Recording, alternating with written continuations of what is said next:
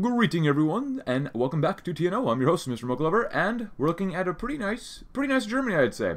Now, obviously, the Einheits Pact isn't perfect yet, but we're, it's a work in progress. But money for nothing.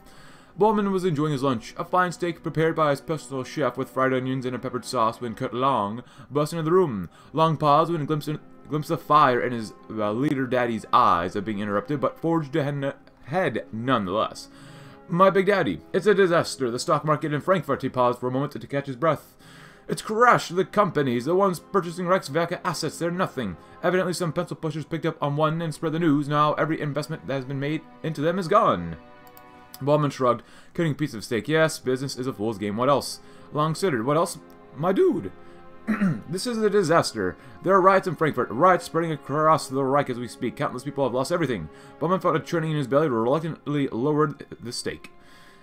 Darn them for ruining his meal. We have to contain the riots and deploy the Heer. Our GDP will take a hit, our growth will go down, our base stability goes down, conservative loyalty goes down as well, but what else can we do about that right now? There's really nothing. Oh! Oh man, negative GDP growth? I don't think I've seen that in quite a while. Holy bad words. Oof. We're going to pump those numbers up. But what do we have over here? And there's a couple comments, like I said, we have to get to, but we're doing okay with Romania. Claiming the pact. And we just stuff down there. That's fine. Hello chickens. The meeting of the Oberkommando der Wehrmacht was suspiciously absent one member. Bormann eyed the empty chair with growing suspicion as the generals collected like mother hens fussing about troop deployments and armed shipments. Where's Schorner? he asked in a lowered voice, interrupting them. I'm afraid the failed Marshal Schorner has been out of contact for the past day, my dude. All attempts to locate failed. Troops under his commands are clearly or similarly not responding to communications. Bormann's stomach ache worsened. Things were becoming increasingly clear and he didn't like it. If you see him, make him go pew-pew. The dismantle button will become available once we hit 70% control, huh? Interesting, interesting. And now, we have the Free Ukraine we can do, and we must contact contact the Volk and Muscovine, because we can't do this one because Oberkommando Brauchstadt has reunified Muscovine by themselves, but they haven't. Despite being predominantly Russian, Muscovine has a large German minority among natives already living there from the times of the Tsardom, and the colonists who settled within the Reichskommissariat as part of Lebensraum project. These men and women still hope to reunite with the Kim, and the Reich will answer. We shall send our agents to re-establish uh, communications with regions still under German control. And with resistance cells within the rebel states, they will build a network of forces ready to strike at the right moment. With that support, they'll be able to help us greatly in the reclamation of Western Russia. Very good. and we shall mobilize a Heer, which will be good. Uh, approach Kaminsky. One of the... Actually, it does not exist. Well, if you like to read go right ahead. Muscovy does exist, however, over here. Contact the Volk. Led by Bronislav Kaminsky. I kind of like this. Alright, cool. Well, I guess we can do that anyways. One of Russia's collaborators, who were part of the Khrushchev's administration, has managed to secure a sizable portion of the Reichskommissariat. His influence with the Muscovine, and the loyalty he commands from the moderate natives willing to come to an agreement with us can help us greatly, but is in danger of being attacked by the rebels surrounding him. Our Führer doesn't ignore this man's value and agrees that he can be extremely helpful in managing the colony after we have reconquered it. He has sent a letter to Kaminsky, promising help him help in exchange for his complete loyalty once the Reichskommissar has been reunited. All we need to do is for him to agree, though to most this seems but a rhetorical question, or a rhetoric question? A rhetorical question. Cool. We got some more research. It is only 1966. Hope you're having a great year and a great day as well.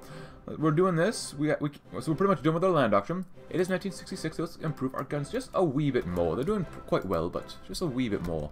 Um, yeah, there's a lot we could do here. Oh, this is well, we've already won three out of five, so it doesn't really matter. We're gonna get two easy. An easy two. Hmm, I don't lose guns, manpower.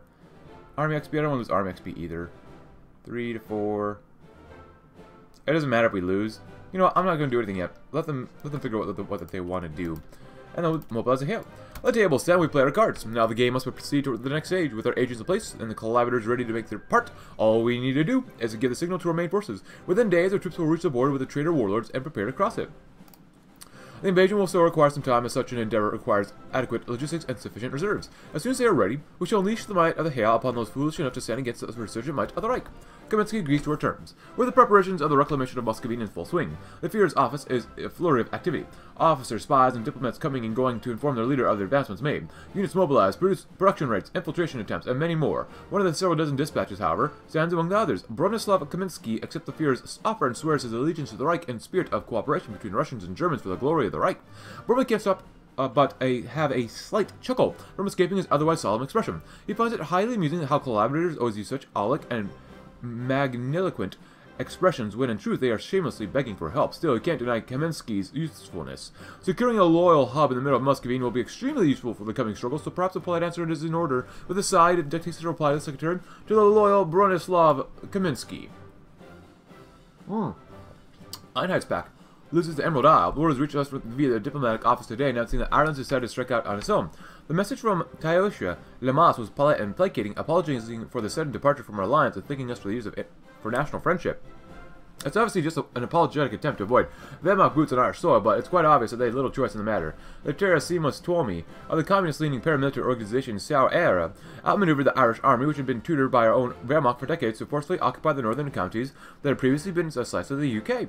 Tuomi's demand of a complete annulment of all ties to our Reich, else would be a civil war for the fate of the nation. It seems that the spineless Fianna Fáil party were unwilling to fight for the place in the world and now have caved into the treacherous Bolsheviks' demands. And th to think, people always say we're crazy when we say Bolsheviks are sabotaging us. Alright, anything over here? No, yep, cool. Actually, do anything for the big Reichskommissariats?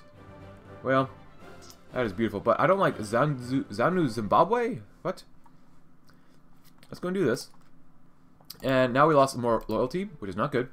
But, yeah. Hey, you know what? Even though the Heer was in opposition last time, they're, they're doing a little better right now. They're doing a little better.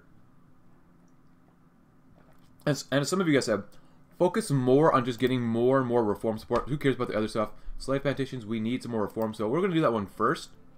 This way this will become more and more reformist. And then after that, we'll, we'll do a lot more. Actually, can we dismantle anybody? 40% support. 85%. How do we dismantle stuff? Interactions, slave plantations. I would like to dismantle the militarists.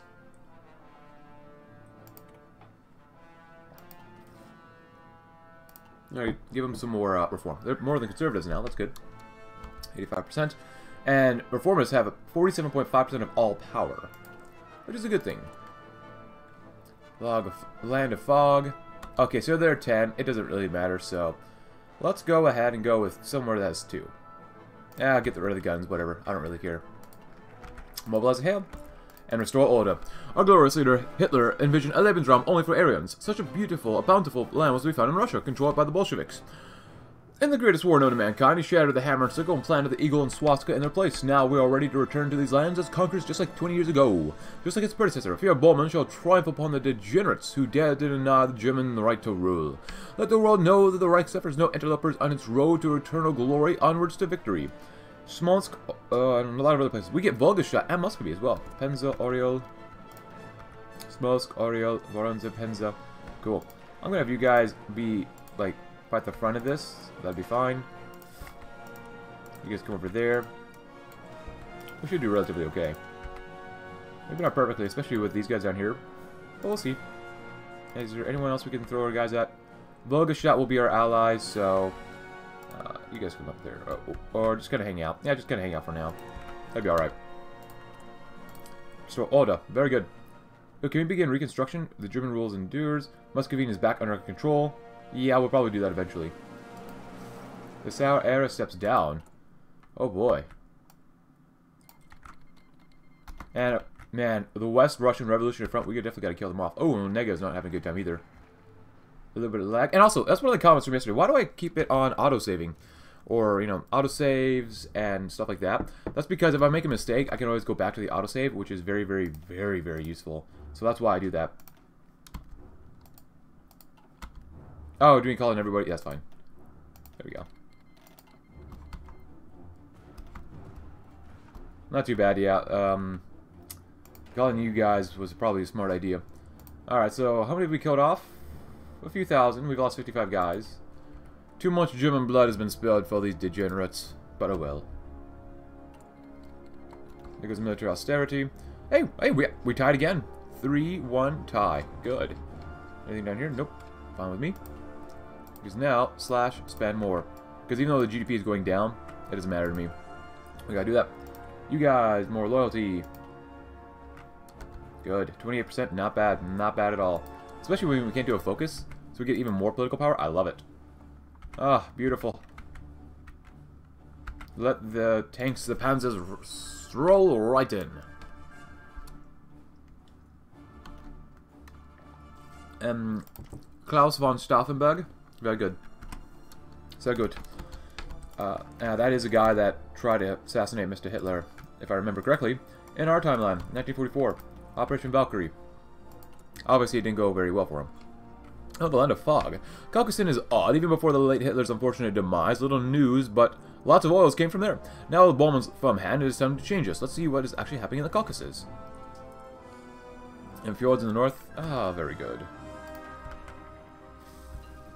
Shocking all, we are now done with my, with my land doctrine. Our land doctrine. Very nice. Even more Salt attack, yes, please. Sehr gut. Ah. Die Militärregierung Muscovine.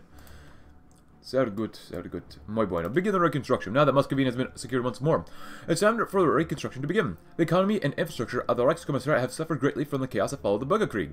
Kasche's disappearance, and the subsequent restoration of the order as well. Now that peace has returned, we need to repair the damage. To this end, a reconstruction committee shall oversee the arrival, organization, and distribution of all supplies and investments coming from Germania. In addition to the economists and administrators, the committee will be joined by a strong security complement in order to ensure that peace is maintained against all those who would try to endanger it again. Very, very good.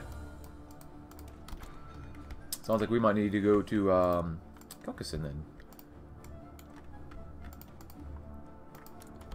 Oh, Josias. If you'd like to read about this, he's a very, very weird guy, so... Go right ahead if you like to. Anything else around here? Do we got a 10? Oh, oh, empty. Good. It's fine. Land of Fog. Most good. They actually get up to 12. What is the AI doing? Italy. Why are you being so incompetent? Well, it's Italy, I guess. Oh, wait, look at this. Dismantle? Wait, hold on. If I click this, who do I dismantle? Mil militarists? Conservatives?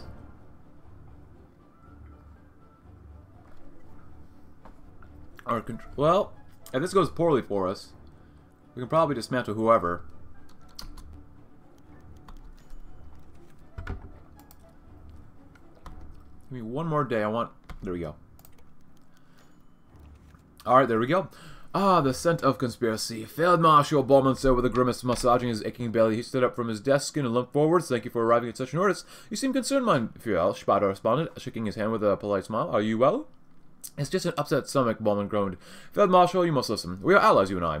Together, we shall reform the Wehrmacht and drag it to greatness. I am beginning to believe that Ferdinand and his military scum are planning a coup against me, against you, and against the entire government. He limped back to his desk. Mein Führer, Spada began hesitantly, bemusement etched onto his face. Where has he gone? Bormann exclaimed, leaning against his desk with a deep exultation. He's plotting something, Hans. Scheming in the shadows, waiting for the right opportunity to strike. There is no doubt in my mind. Fear the scorn man. Ah, very good. And we'll still keep doing some of this stuff. Actually, you know what? We have enough political power. We might as well implicate our political enemies. Nah, we good. And there's nothing we can do about this yet, because we're not done quite yet. We have to dismantle the militarists first. How do we get this? More factories? Do we make more factories? What do What do we need? Anti. Ooh, anti-air. I don't ever like getting that far into the research for anti-air, just because it it's another add-on you need to make sure that your soldiers can perform well enough, which I, I never really liked that much, but whatever. Good. That should keep us placated for a while. An empty chair. Spada folded his arms and sighed heavily. His patience was wearing thin. The OKW officers around the table were equally frustrated, whether he was healthy or sick, energetic or exhausted, heavily preoccupied or free of time. Since his appointment as the chief of the OKW, Spada was never late to a meeting. Field Marshal Schorner was different, uh, a different case, of course. He would often swagger in ten minutes late, making a grand entrance with his trademark sneer. The man had always been a spiteful little snake, but since the fear's rejection, his venom had only grown more poisonous. Despite everything, Schorner was still loyal to the Reich. Oh, wait, oops, oh, my, my gosh. My apologies about that. You know what? My apologies. My apologies about that, but this is exactly why I auto-save, in case I make mistakes. It's now back March 1st, but empty chair, of course. Uh, despite everything, Schorner was still loyal to the Reich. Spada valued his advice as an experienced officer, if only for polite rather than practical purposes. Yet a whole hour had passed, and there was no sign of the man, nor had he made any phone calls to the OKW headquarters, not since the riots had begun. Field Marshal Young Soldat spoke as he entered the meeting room, snapped to attention. We have attempted to contact Field Marshal Schorner and his men to no avail. Speidel slumped down in his chair with an ashen face. If your suspicions were true, there could be no denying it. Ferdinand Schorner was plotting something. It is time to act. Wow, look at that. Look at the reserves. Wow. Okay, now it's zero. Okay. Yeah, my bad. Cool. Anything around here? Nah. As you can see, I literally just reloaded the save. Of Fog. Uh, are the soldiers down here? Yes, they are. It's time to do what we must do. Italy, why did you... Ooh, the Mad Prince. Ooh, what's this? Ah, yes. If you'd like to read about the Mad Prince, go right ahead. Reestablish logistic chains. Off with its head. It is time to ready the men. The mad tyrant of the mountains need to be removed, and the Hail stands by eagerly, ready for the coup de grace. The invasion will be simple enough. Caucasus does not have the military strength to stand up to the combined might of the German armed forces. We will blitz through the plains to their cities, secure the oil refineries, and bomb anything in the mountains that resist us. And for Josias, death. Befitting for traitor, mercy for a madman. Followed with, eliminate his supports. Well, we shall see what happens very soon. Off with the said. A stroll through HQ. Ah, yes. Uh, Bulgaria, if you'd like to join the, our conflict, that is more than good for us. Field Marshal. Hans Speidel paced through the corridors of the OKW headquarters, muttering to himself as his brain ran through scenarios and formed links. The secretaries, administrators, and officers stepped out of his way with a respectful nod they were used to his behavior. The chief of the OKW could barely sit for ten minutes without wanting to shoot his, to his feet and stroll around the building in thought. Moments before, he had ordered agents of the Fremde Heere Ost to hunt for Schorner's location. The man had always been a spiteful little snake, but since Lafiel's rejection, his venom had only grown more poisonous. With each passing hour, its absence became more and more terrifying. Bormann had shown the evidence. Money laundering, market manipulation. The man was insane, there could be no question, but what was he planning in the twisted mind of his? I will swing if I don't find this traitor.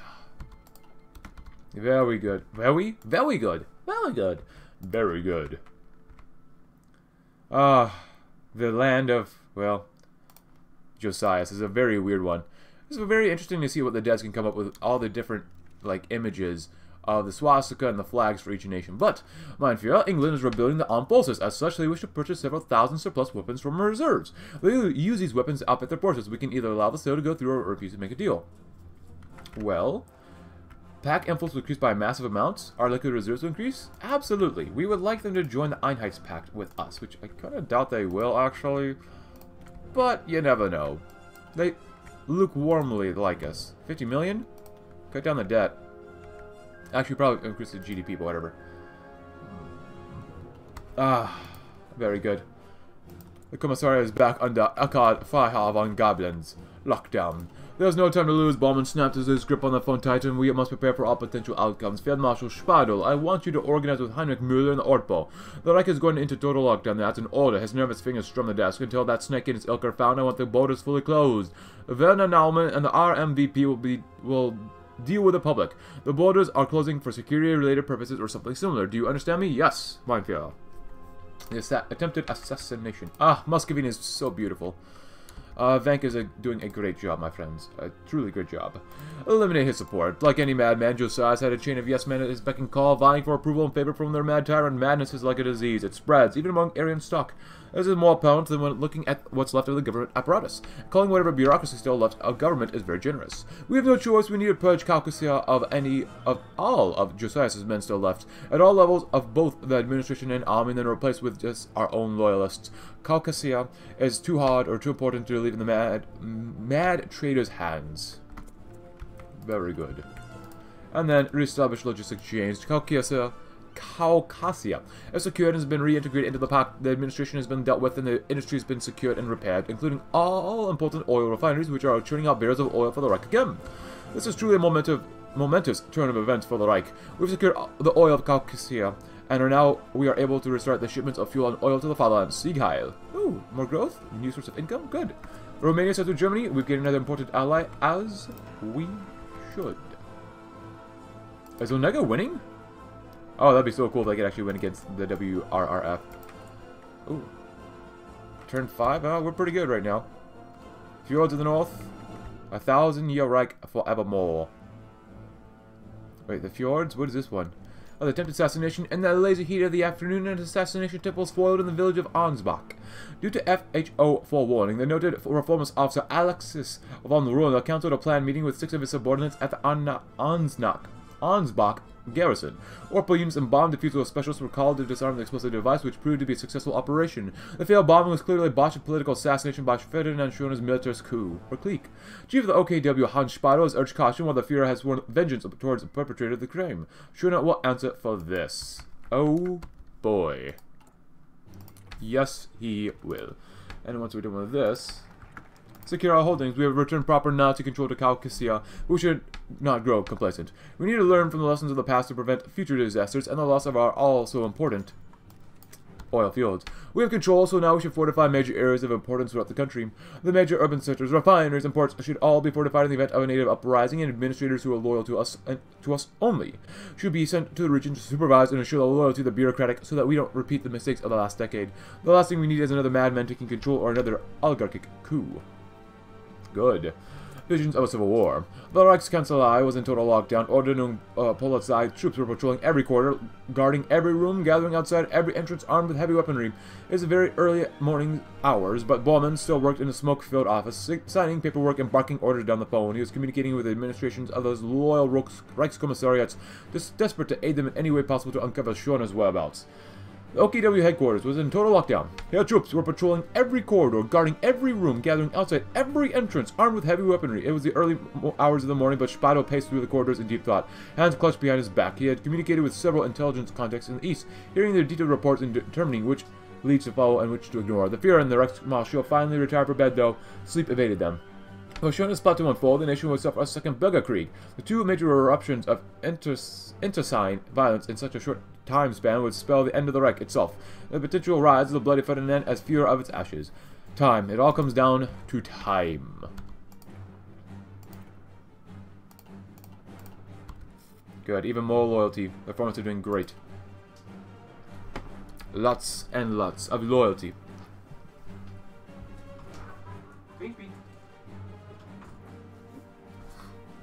My apologies for that. I want to see if my cat was meowing outside of my room which he was for a little bit. So, uh, one of the comments from yesterday was that a lot, a lot of people recommended we should have done the academic research base.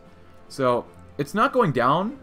but we should have chosen that one because that would have helped us out for monthly uh, experience, and obviously our industrial expertise is going down. So, it is what it is. Maybe next time when we play Bormann, I will increase the academic base or academic standing of our nation. But a breakthrough. The phone's shrill ring pierced Bormann's ears. He darted from the window and grabbed it without a moment's hesitation. Hi, Bormann, came Speidel's voice. It sounded exhausted, yes, but somehow different, somewhat hopeful. Bormann ran a hand over his scalp and held his breath. I've received a breakthrough report from my FHO agent. Schorner has been sighted in Ostland. In Ostland? Bormann was frozen like a statue. He's been traced to the city of Riga. The reports are highly credible, mein Führer. Bormann viciously punched the air in silent celebration. He may have underestimated Schorner, but so did Schorner underestimate the Fuhrer's cunning.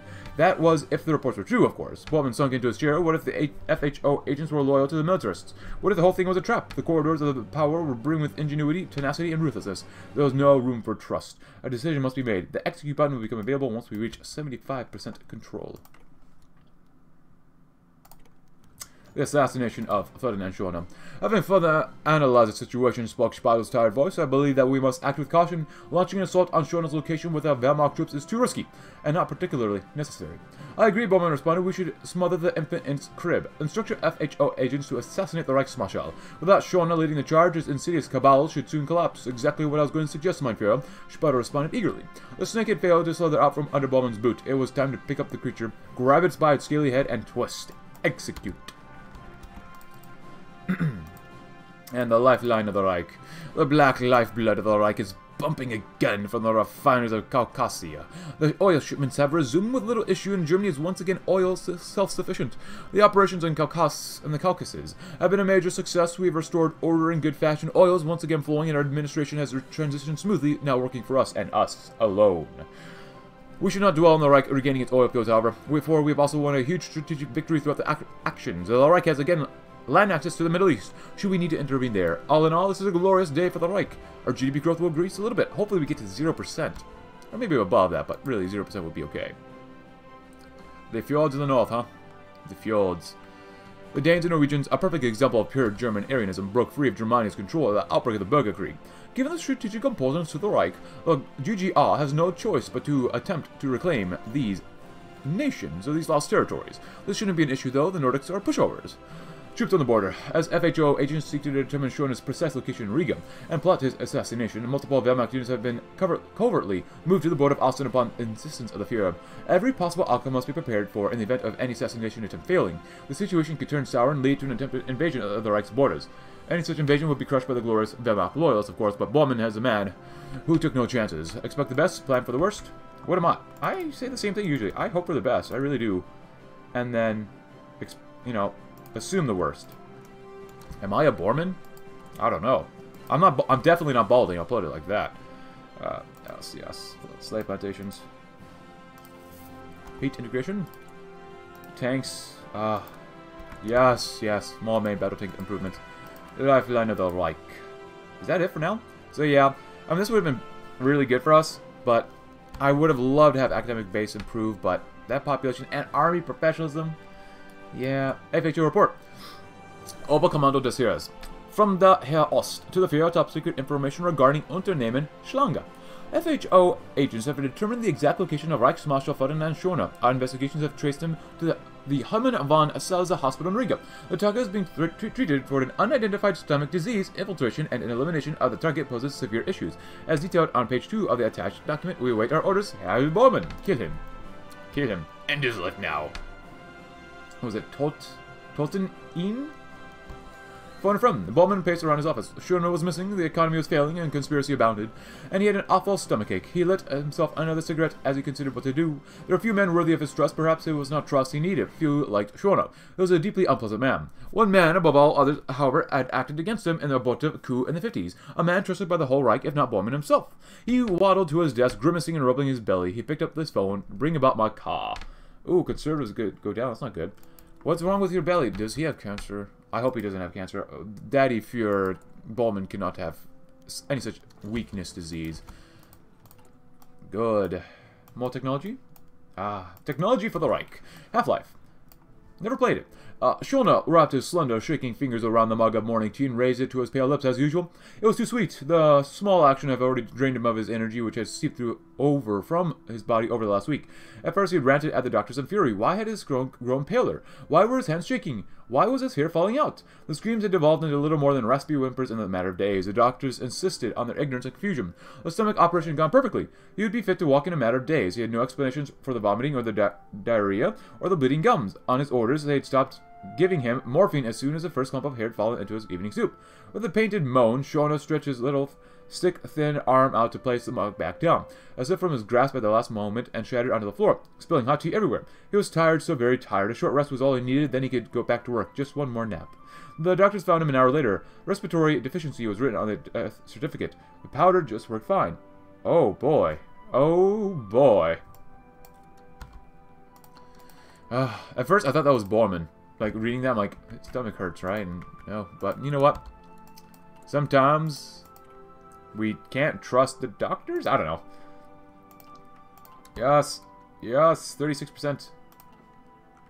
And the death of the military's plot. Oh, what's happening to the Boer Republic? What's going on? The death of Ferdinand Schorner caused immense disarray among his militarist followers. Many units turned against their former allies, others have fled further east. They should, they should go to the Aryan Brotherhood, but they're dead now. The few that remained quickly descended into intestine and skirmishes and power struggles. By the time Otto Ernst Remer had rallied the remaining men to his side, the Wehrmacht troops were sweeping through Riga and mopped up what was left. Remer held, hailed as he faced the execution squad. Upon hearing news of Schorner's most tragic death and the destruction of his forces later that morning, Bormann invited Hans Speidel and Baldur von Schirach for a celebratory meal of steak and wine. The chief of the OKW was satisfied after two glasses, and the chief of the party chancellery after two bottles. Bormann had allowed himself some rare indulgence as he sipped his wine, content contently, picturing Schorner wasting away as a polonium worked its magic. The military's plot was foiled, its leaders were dead. Speidel had been foolish enough to believe Bormann's promise of fully ascending to the reformist demands. Had he not learned his place? No one can be trusted. And the, like the the Thousand Year wreck forevermore. Uh, I've already read this once, but we'll read it again because we can. We've successfully succeeded in surviving the aftermath of the Bürgerkrieg. The Großgermanisches Reich had achieved relative political stability for the first time in decades. As a result, a powerful wave of optimism has swept across the Reich, the German people hopeful of a good future, believing that this is the commencement of a new glorious era for the National Socialism, a golden age under Führer Bormann. Uh, but only time will tell, of course. Given recent events, it's safe to assume that the Thousand Year Reich will remain forevermore. The Second South African Civil War. Oh boy, yet another war in Africa?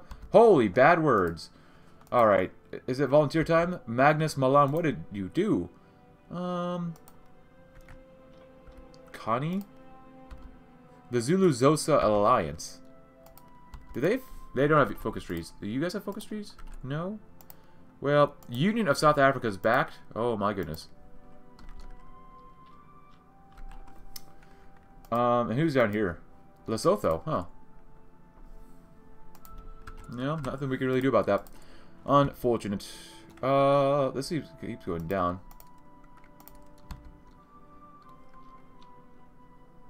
Oh, and Mbabane. Oh, look at that. It looks kind of like a slave. I don't know. Can I say that? I don't know.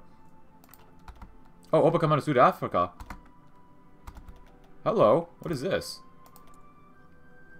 Karl Chmielewski. Skewy, skewy, skewy, skew. Ah, this is popped out from oh, Gross Africa.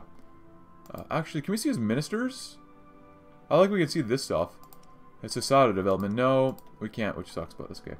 Alright, what's next? Ah, new focus tree. Awesome. Awesome, awesome, awesome, awesome, awesome. Sweep. The Oregs, or the Dregs. With the aid of our so-called allies, the traitors who dare oppose us have been crushed without mercy, yet this is no time for rest or indulgence as long as his enemies fester within German institutions. Bormann will never be safe from usurpation. Sympathizers of our allies and remnants of the crushed traitors lurk within the Wehrmacht and the mega corporations. Both the reformists and the militarists are our enemies, and neither should be given the popularity to get more influence in the party. Actually, what our GDP is, wow, that growth did not help us out that much. But hey, the budget's looking extremely much better. Like, we were like 5 billion for deficit. Now we're like 3.6. Not bad. Ah, morning schemes. Bormann rubbed his eyes once more and glanced through his office window. The sun was rising upon Germania as Führer stopped pacing around and sat back in his chair. Though he tried, he could not recall when he had last left the office before sunrise, perhaps before the attempted coup. Not that it mattered much, of course. Sleep never came easy to the Führer until he dealt with all of his work, and even then, Bormann did not take pleasure in a slumber. Bah, bloody waste of time, he thought. He would remain sleepless for some more. The Reich had almost met its downfall thanks to his rival scheming, and Bormann could not allow it to happen again. While his associates had been diligent in their purges, more work remained, and the Führer could not allow himself any naivety.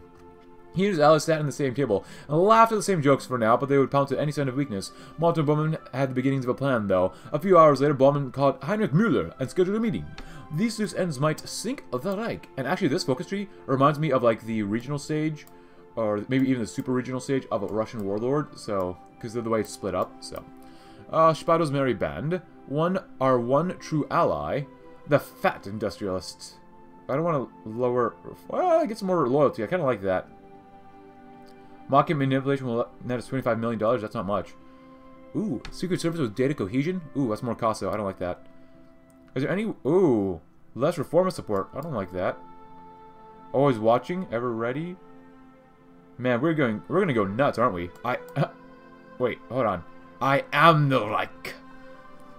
Spado's merry band carried in one hand, rifle in the other. Ooh, uh, Merry band. That idiot Spado and his band of morons is celebrating the fact that Schornas has been done away with. They see this as an opportunity to shape the Reich to their degenerate vision and take control of the Heer itself. They greatly underestimate Führer Bormann. With militaries gone, these idiots have removed the only reason that we even cooperated with them in the first place. It's time to clamp down on the reformists and show the dudes who's boss. The Führer now, and it's his Reich. He gets to decide what goes on. Pimp my Reich. Let's see what happens. The Reich's northern fortress. Oh, look at this. It's over here. If you'd like to read about this, go right ahead. Ah, it's about Norway. Okay, meeting with Lunde. How about that? The chaos of the Bürgerkrieg did not only wreak havoc in Germany, across the world, our government shook and fell to pieces, overwhelmed by a number of bearing issues. Norway is no exception to this, though our exit was much more peaceful than in other places in Norway.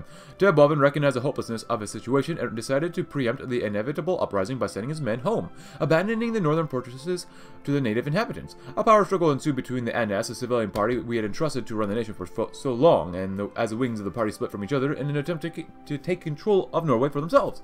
In the end, the mainstream wing of the NS, led by Gulbrand Lunde, has maintained their control over the nation. While this may not be our best case scenario, it is certainly not the worst that could have happened. We have worked with Lunde before, and our goals line up with most areas, of course.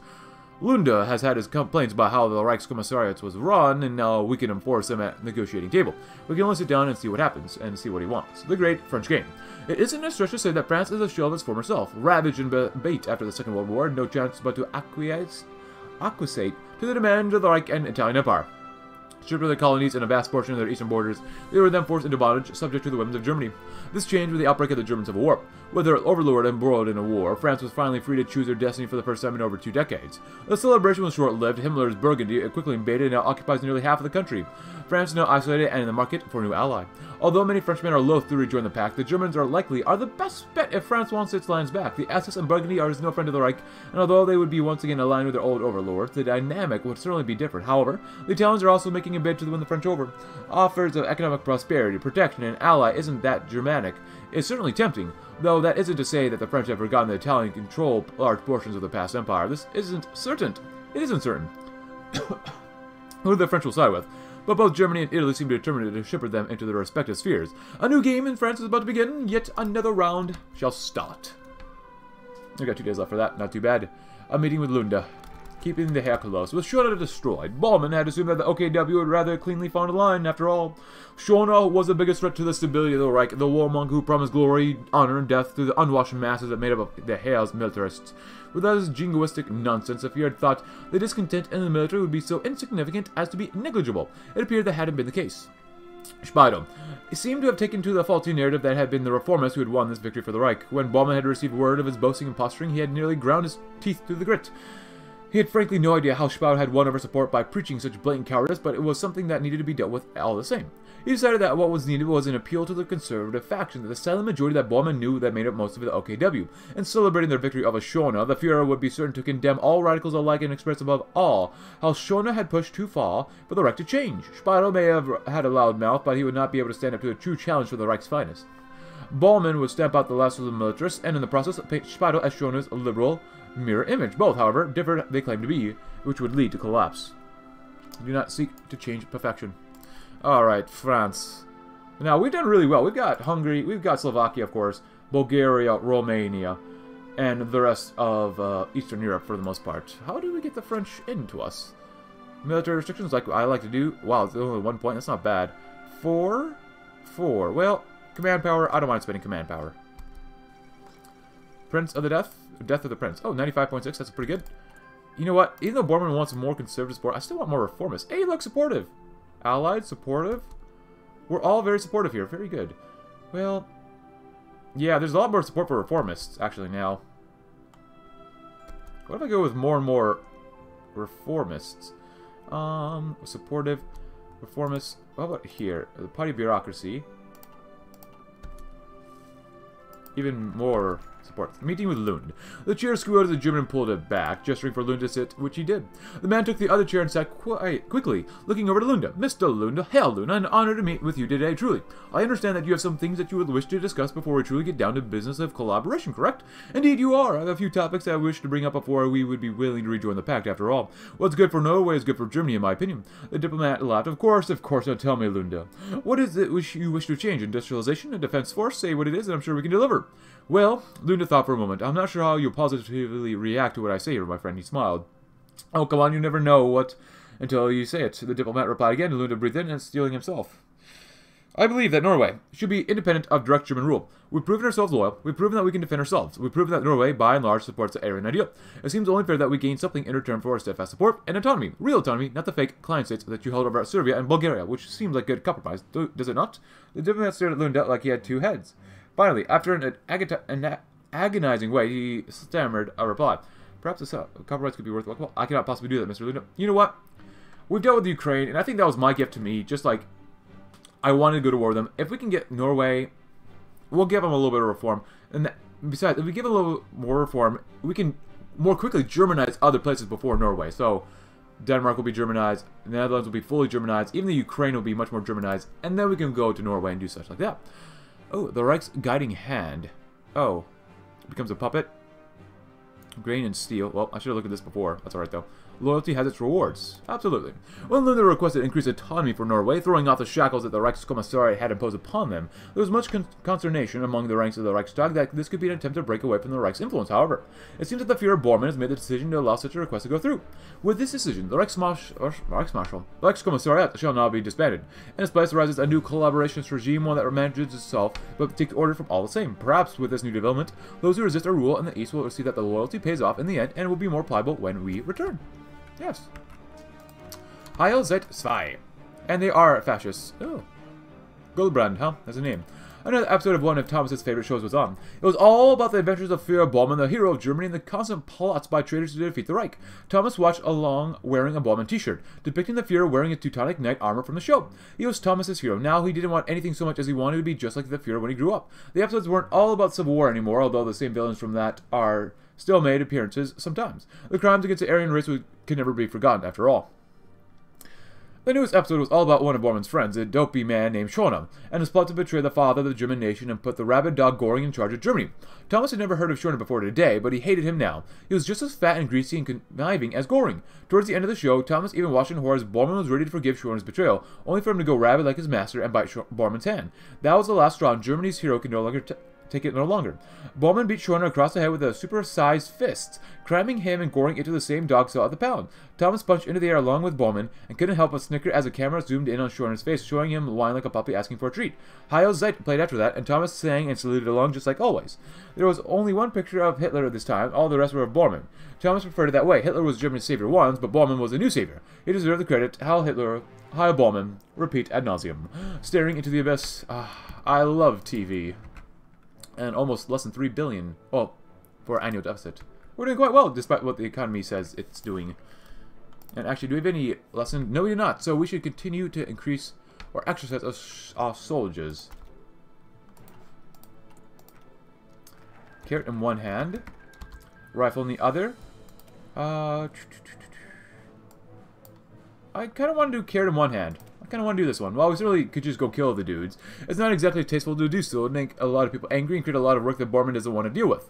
The best option is to focus on the reformers that are less loyal to Speidel. Convincing them to be more loyal to the Fuhrer might, through pure words, threats, or even light torture would strengthen the position of the military and root out some of the degenerates currently threatening the Reich.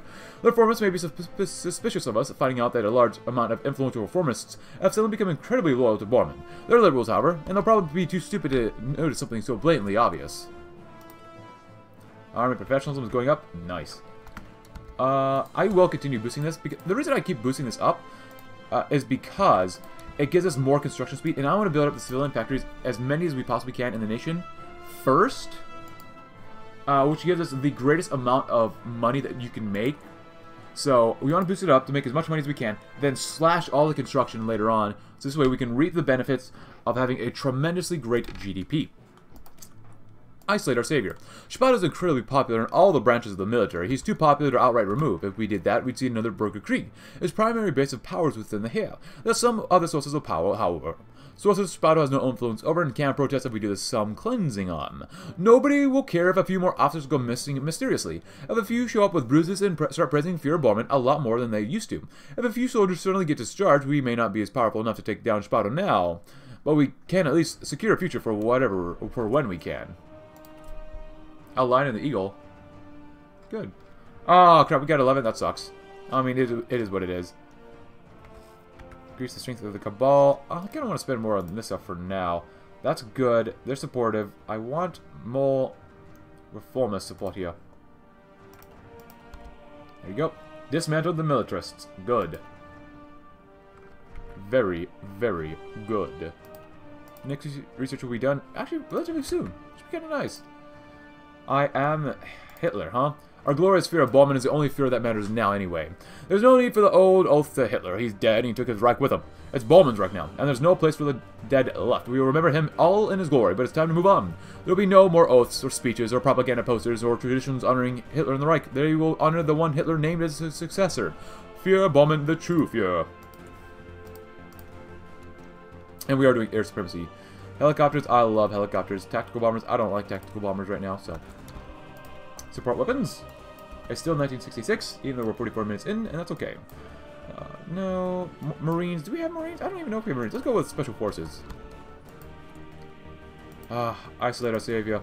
I am Hitler.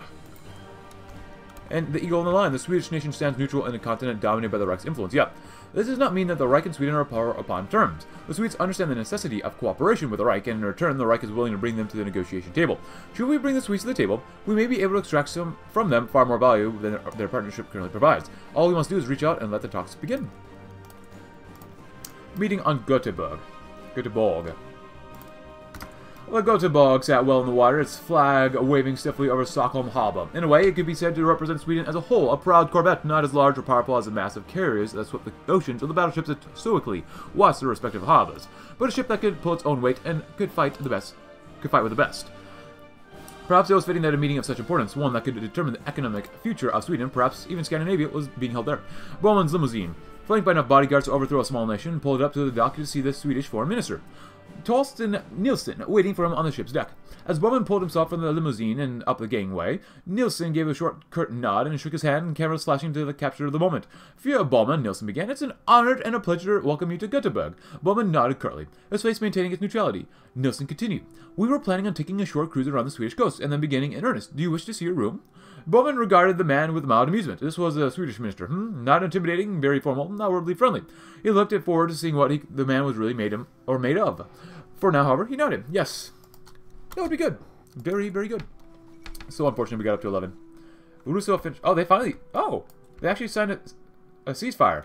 The cruise. Baltic wind swept across the bow of the Göteborg as she cut through the waters of Ostweden and her crew calmly walking from post to post, to keeping the corvette steady. On the opposite side of the boat, in two different cabins, a delegation prepared. Führer Bormann pored over his notes, pages of economic information splayed out across his desk, occasionally shifting one way or another when the waves swept under the boats. Charts, graphs, demands, memos. It was enough to make a lesser man's head spin. Even Bormann could uh, barely keep track of it all. He would manage, of course, always had, always would. On the other side of the boat, Nilsson prepared his demands cautiously and prepared carefully. The German eagle a prickly beast, one that did not take requests well. He would need to pick his fights well, aim for the weak spots. At the end of the day, however, Nilsson had one advantage that Bormann did not. The Germans were negotiating with Swedes, not the other way. He got to set the table and got to set the issues and valuable things in the high-level talks like these. Both parties found themselves ready to go as the clock ticked down, and when it was time, both men strode from their cabins proudly, ready for the duel of words. Economics are a dangerous game. Ah, yes, good. 90, 82%? 92%? Well, it could be better. I am Herr Hitler, huh? A new agreement. Bormann puffed on his cigarette idly as he studied his opponent, who was too busy reading through his papers to notice. The smoke wafted out of the open window and into the ocean air, and Bormann found his thoughts drifting back to more interesting matters, affairs in Germany, Reichstag negotiations, military operations. The tap of papers against the table snapped Bormann's attention back to Nilsson, who had prepared himself. Yeah, Bormann, I trust you understand why we're speaking here today, yes? Of course, tungsten imports, steel and iron imports, the like. Bormann grunted, mildly displeased at the sudden interruption. I trust this will be a swift process. Nilsson's brow furrowed. I'm afraid not, with a new geopolitical situation being so different than the one before 1963. Our government has seen fit that renegotiation is in order, namely the previous privileges granted to the Reich. We believe that it's fit to go over these. Bormann scoffed. Of course, you'll want you want to cut our benefits, do you? My government sees the removal of these limits as critical in these talks. I'm sure we can find a compromise, but this will go much smoother if the Reich concedes here. Bormann's expression soured. It is what he expected, but he hoped deep down that the Swedes would be so obstinate on the issue. With the roadblock in the way right as talks began, he began to choose how was the time to make a stand. Fine, but there better be something in for us? Absolutely not. Give us the old rights. Well, the militaries are out, so fine. There better be something in for us here. I will do I am the Reich. There wasn't Schorner's Reich, it wasn't Spato's Reich or anyone else's Reich. It was Bormann's Reich now, and we'll show for it. These liberal degenerates will feel the wrath of Bormann in full force when it is their time. They forget there is no precious here without Bormann, no Kriegsmarine without Bormann, no Luftwaffe without Bormann. It is all the creation of Bormann, and if he goes, the Reich goes with him. Those traitors in the Wehrmacht, they're all fools. Fools and degenerates. What do we do with the degenerates in the Reich? We purge them, and we've always purged them. Spato is far too popular now. More Moulin the Heer holds allegiance to a traitor rather than a true Fuhrer. In due time, these degenerates will die. They will die for opposing the Reich, opposing Bormann. The next question. Bormann sighed as he read through the papers. Another issue was in his hands. At least he would get to drop this one at the feet of the Swedish minister instead of the other way around. He looked at the other man before him. Minister Nilsson, I've been informed by one of our larger companies, Reichswerke, that you may know, that the benefits they enjoyed before the Bürgerkrieg have been revoked. Is there any particular reason for this change? Bormann questioned, tilting his head, noting how Nilsson tensed a little as he heard the question. Nilsson cleared his throat. The Reichswerke has had their benefits revoked, yes. We did so at the beginning of the Civil War. It was no longer an economic aid to us. As such, our government decided to cut our losses. Bormann scowled. Swedish dudes were more greedy than the Jews or Swiss, he thought, scarping off with the money of good German companies at the hint of first trouble. The boiling anger raged deep within him, an impulse to strike back to demand the restoration of German's, Germany's status, but he held it in.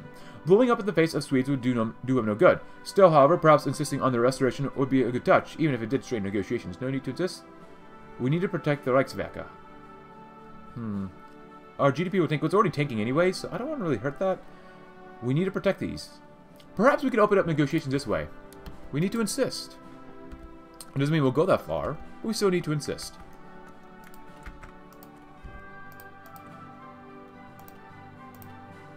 Ah, 51%. The Bormann Legacy.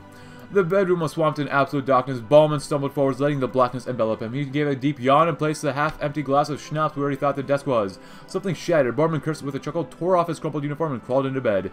Not for a single night passed when he did not expect Gerda to be waiting for him, eager to hear his stories from work. He could never have asked for a more loyal wife. Their thoughts had aligned on policy, on ideology of life itself. He smiled to himself, Gerda. Uh, She'd been so supportive of his sexual exploits, always encouraging him to aim higher every week. She had been a useful tool, faithful and beautiful, and delivering ten of his Aryan children into this cruel world until mercury poisoning took her in 1946. Oh, it's terrible. Several, seven of these children were still alive. Three daughters married off to bear his grandchildren as beautiful housewives. Four sons, each educated in matters of politics and culture by the party, academy, and Matre Ambruna. He had not inquired as to the fate of his eldest son, Martin Jr., who joined the African Corps. The man was either celebrating his survival or rotting in a ditch. Either way, he had served the Reich well. As Fuhrer, he cannot risk any scandalous affairs or knowledge of any bastard children, and so he slept in a cold and empty bed every single night, undisturbed by the whispers of a woman he, or the cry of a child. The life of a simple man was not for him. He was dedicated to the Reich and the Reich alone. The slavery question. I'm sorry, Herr Nilsson. I must simply insist. Bormann flashed a smile, coldly and calculating, and Nilsson took a moment to think. Bormann's smile morphed from a fake diplomatic one into one of enjoyment. He would make the Swedes squirm one way or another, that was certain. Nilsson's silence pervaded through the room for near a minute before he finally began his response, slow and deliberate. I'm certain we can reinstate those economic benefits Herr Bormann, on the occasion, or the condition, I'm all ears. No slaves, none. None in Sweden, you agree to that, we have a deal. Externally, Bormann's face remained unmoved, but rage shook the iron bars of his mind. Those gosh darn Swedes, a simple agreement, and they moralized and twisted into something rotten and corrupted, all for the profits and morals. It almost made one sick, it was certainly something that gave Bormann the impulse to leap from his chair and strangle the diplomat then and there. He scratched his neck as he thought, trying to find some way out of his own little hole. I shall meet with Geilenberg. Let us discuss other matters now. Hmm. Well, and scratch the neck as if trying to find some. I shall meet with Geilenberg. So be it. If we must get rid of slavery, so be it. It is, as some might say, a curse upon the nation. Get accounts of Berbers killing Frenchmen, huh? Well, we want to get up to four, so... Ooh, French bad words. Well, not, not bad word, just removal here. Oh, we don't have liquid reserves yet, so... Political power. Well, we ought to get up to four, so political power... Yeah, this one. Expose Italian brutality in Corsica. Good. And over here, conservative, we're going to go max out reformist. So reformist, reformist, reformist. The church is allied. Well, supportive, reformist, allied, allied, reformists. I want more reformists.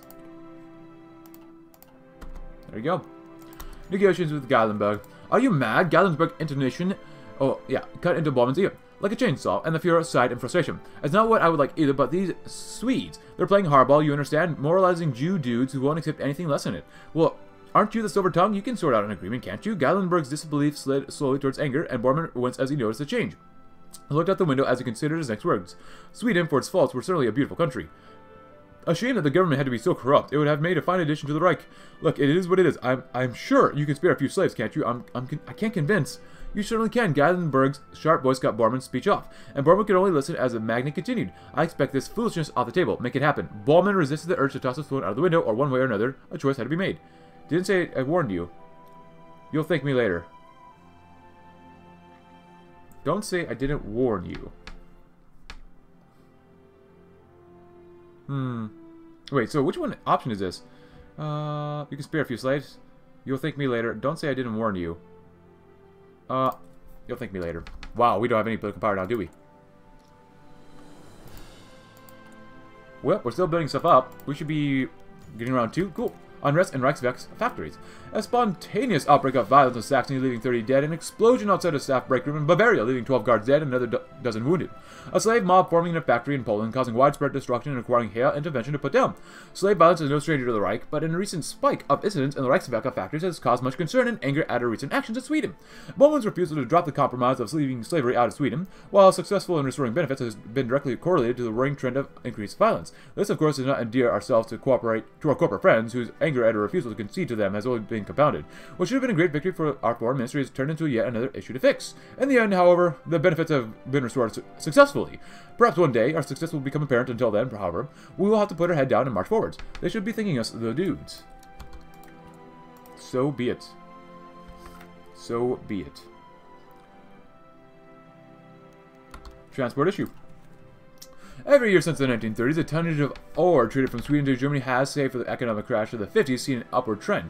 It is an undeniable fact that the delivery of Swedish ore into our hands is essential not only for economic reasons but for defense reasons too. With the recent trade negotiations thus far concluded favorably, this upward trend is due to continue for decades to come. However, with the increased consolidation and organization of the German-Swedish ore trade, a question has arisen to who will be the fully responsible party for the increased transportation of ore, Germany or Sweden. Upon one hand, German firms would water the mouth to place their hands upon the government transportation contracts which would follow such an arrangement. Conversely, such contracts could prove costly to the Reich, and the corporations would surely invent a plethora of novel costs that would certainly be associated with the transportation of ore, what costs it can only incur now that the Reich is footing their bills. Upon the other hand, it could be left to the Swedes to deliver the exports to the ore henceforth, and the German firms receiving their goods all the same, and the Swedes being left to foot the bills and handle the blame should shipping arrangements go awry. Our firms may be irked at such an agreement, but the cogs of our industry will continue to turn all the same. Um, I kind of want the Swedes to handle it, the transportation just because it saves us money. So, costly to the Reich. Uh, hmm. Yeah. I'm gonna let the Swedes handle it. I am the Reich. And then let's let's go hunt and hunt down Milorg. Ever since our invasion of Norway over two decades ago, the resistance has been a constant pain in our side. The most notable of these resistance groups is the Milorg, a banded degenerate western capitalists who have spread tentacles all throughout the mountains and fjords. They've been a constant annoyance, but were assumed to be on the decline after, as years went by until they made a sudden grab for power in the wake of Terboven's departure. Though our fellow Aryans in Norway repulsed a spasm, Milorg has seen a swell in both activity and numbers ever since. This cannot be allowed any longer. Using joint German-Norwegian operations, we shall embark on the greatest anti-resistance campaign Norway has ever seen. Thousands of Wehrmacht soldiers will march through the countryside, rooting out decadence wherever they see, find it. No mountain will be left unchecked, no city untouched. All the routes that Milorg will set be dug up and exterminated with brutal forces. Norway must be secure before the Aryan dream can truly blossom. Very good. No matter both. Spado was furious, no matter how hard he tried to hide it. Bormann had asked him to stand beside him for the speech, which Spado had readily agreed to. The issue was, however, that the chief of OKW had expe expected simply a condemnation of Schwerner's actions. He had uh, even allowed himself to imagine that Bormann would be praising Spado and his men for the good work they had done in the name of the Reich. However, it seemed that the Führer had other plans for his address. They had first begun discussing Schwerner's treason, yes, but he had quickly taken a turn to, into more unexpected political ven venues. When the soldiers pled their loyalty to the Reich and to Hitler, they attempted to place their actions on the Reich and the Great Führer himself. They are not able to defend themselves against madmen, and as such, lunatics like Schwerner were able to bastardize their ideals by professing that their treason is done in the Reich's name, or to fully fulfill Hitler's vision. From now on, all soldiers are to pledge loyalty only to the Führer. After all, the Führer is the Führer's successor, or Hitler's successor. And his will is the will of the Reich. All is unnecessary. Spado's draw dropped the man in awe. The arrogance and self-absorption er, required was, was astounding. For a moment, He considered walking off stage, or verbally condemning Bormann, though he knew such thoughts were scandal and folly. All he could do was simply stand beside his men, making clear by his frown and furrowed brow that, brow that he did not endorse his move. He would never renounce the oath that he swore to the German people and the German nation, no matter what Bormann said. But the crowd erupted into applause. It was all Speidel could do was keep himself composed. The masses loved a loyal tyrant, or loved a tyrant, it seemed. Heil Bormann. After that, we shall do sent an attaché. With the disbanding of the Reichskommissariat, a new problem emerges, a lack of communication. It takes hours for messages from Norway to make their way through the Byzantine bureaucracy of the Reich's Foreign Office. And by the time the telegraph reached the Führer's desk, the choice has already been made. Such an inefficient system will only lead to future troubles, and action must be taken to preempt those issues. An attaché will be sent to Oslo in order to minimize efforts it takes for communication to commence between Germany and Oslo. We shall know what Norway plans to do almost immediately, as they decided, and a recommended course of action for the NS will be on their desk before they even leave their meetings. A new era of Norwegian-German communication will emerge faster than it was ever before, and German carriers protest. Führer Bormann, what is the meaning of this? Richard Bertram, chairman of the Norddeutsche Lloyd, uh, said, You cannot let Sweden handle logistics. We need the share of the market. Do you know how hard shipping is these days? Despite Bertram's complaints, Bormann remained silent. This is a disaster for us. Come on, my Führer. Is Sweden worth doing an industry? You don't understand how important Sweden is, Bormann spoke up. His voice was filled with rage. I'm a very busy person. Please leave. Bertram opened his mouth again, then realizing nothing could sway or change the Bormann's mind. Bertram left disappointed. The rest of the day was filled with similar complaints. When there was a lull in the rapid series of complaints, Bormann wondered something. Was it worth it? I don't know. Let's see what happens. Loyalty? Well, more power are the reformists, so... Even though the reformists actually are not as loyal as the conservatives. Still, but that's okay for now. Havel and Bormann stepped onto the ship for what would hopefully be the last time. The Prime Minister of Sweden himself, Tage Erlander, was there. The negotiations progressed at a snail's pace, getting stuck on menial topics of debate frequently. It would all be worth it in the end. Bormann had to leave, but Havel could hopefully secure on his own. Bormann sat in his office awaiting the news. Suddenly, Heidel burst into the room. And... Goes the Boer Republic. How's, how are we looking here? Eight? Oh, they're ten. Come on, man. Seriously? On Nordic brothers. Despite the, our recent actions of goodwill, it seems there's still some resentment of Germany left over from the Reichskommissariat years. Germanization has left a mark on the minds of many Norwegians, and they no longer believe in the Aryan ideal. It is time to change that with a fresh new propaganda campaign. We shall emphasize how the Nordic people are as Aryan as the Germanic folk. Separate, we are weak, but together we are unstoppable. As I say, even now, design after design is rolling off the printing press, ready to be sent over the Baltic straight to Oslo. Perhaps we can never fully recover from the damage of Germanization, but we can certainly plaster the wound over with heaps upon heaps of posters and photographs. Some Norwegians may never forget what we did to them, but we will undoubtedly convert those who are less steadfast in their hatred. Negotiations succeed. Good job! Bormann said, looking happily at the photograph of Erlander and Havel shaking hands. He honestly didn't think he could do it. Oh no, it's all in a day's work. Still, it's a victory for the Reich. We all reap the benefits of this. That'll show those ignorant dudes in the Reichstag how Bormann was competent. While Havel had said the deal, the majority of the work had been done by Bormann, hadn't it? Bormann would make sure the official reports said this. It was true after all. Havel was more an adversary. Adversary. Adversary. After Havel had left office, Bormann got on the phone with the censors. I did most of that, not Havel. We got a lot more political power. Great, great, great. Now, do they join the Einheitspact? That's the most important question. Norway has joined the Einheitspact. The good, good soldiers, the good, good people down there. Now, we need two. We have a 66% chance of doing okay. Really a 33% chance of what we need, as well as a 33% chance of getting what we need here, too.